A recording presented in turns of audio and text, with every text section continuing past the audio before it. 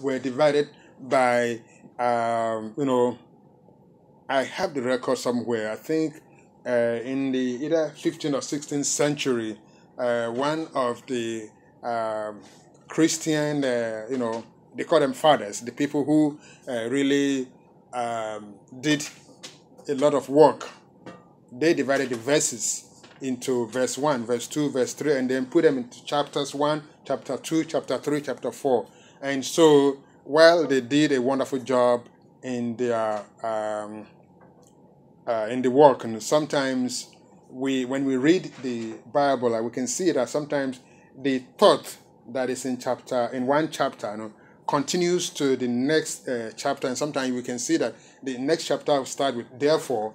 Therefore doesn't mean that there, therefore when therefore is, is there, therefore means that uh, there was something before therefore. So you can't just say therefore because if you're talking to somebody, you say therefore, they say, well, you haven't told me anything before, so why are you saying therefore? You know, and so the grammatical uh, balancing of the uh, information means that you should say something before you add the therefore. So in this case, the therefore we are going to use in this way is that in chapter 12, we see that uh, the text is telling us something, but before it told us that uh, there was something that was there before. So, and that's why we are using uh, Romans 11:36, and then continuing in chapter 12, 1 and 2, which explains uh, what uh, God is requiring of uh, Christians. So, we are going to be reading from Romans 11:36 and then continue Romans 12, 1 and 2. And so let us read.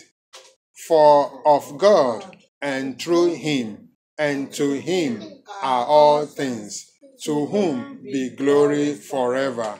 Amen.